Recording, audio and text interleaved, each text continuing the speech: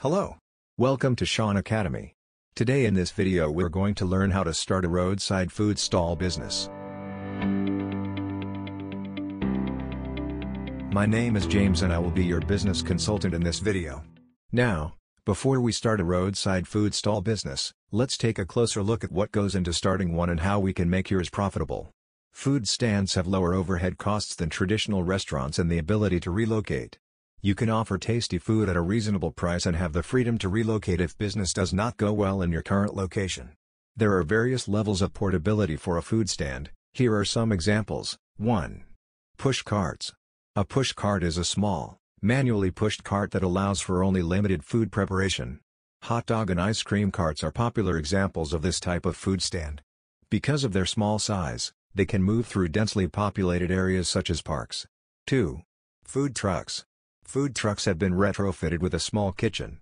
A food truck allows you to travel between locations more easily, such as different food festivals or office buildings. 3.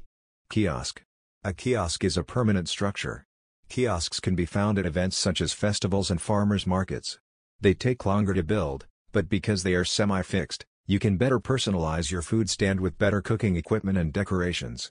Because they are immobile, selecting a good location is critical. When starting a roadside food stall business, you will need licenses and permits. The licenses and permits required for your food stand will vary depending on where you operate your business.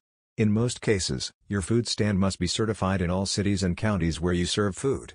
If you only sell prepackaged foods, such as popsicles, the requirements are less stringent because you do not need a food handler's permit. A food handler's permit is required if you handle food, even if it's just scooping ice cream. Some cities, such as Dallas, Texas, prohibit the sale of food that is not intended for immediate consumption because it is potentially hazardous. Food that has the potential to be hazardous is defined as food that spoils quickly, such as dairy products. A food service establishment permit, a general business license, and a food safety permit are also required. Food service must be zoned in the areas where you intend to sell food. In California, for example, you must contact the local city hall to confirm zoning. You must display your permits in a visible location and renew them on a yearly basis. The following step is to identify your target market. When deciding what type of food to sell at your open food stand, there are several factors to consider. As an example, Point 1. What are the most popular foods in your area? 2.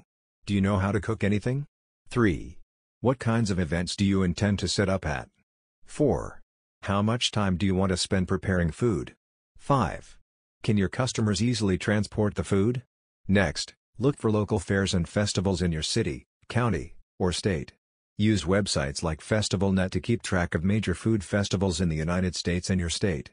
Another excellent location is in front of bars and nightclubs. If you found this video useful, please show your appreciation by clicking the like button. Also, let us know in the comments if you'd like us to make a long, comprehensive follow-up video to learn more about how to start a roadside food stall business.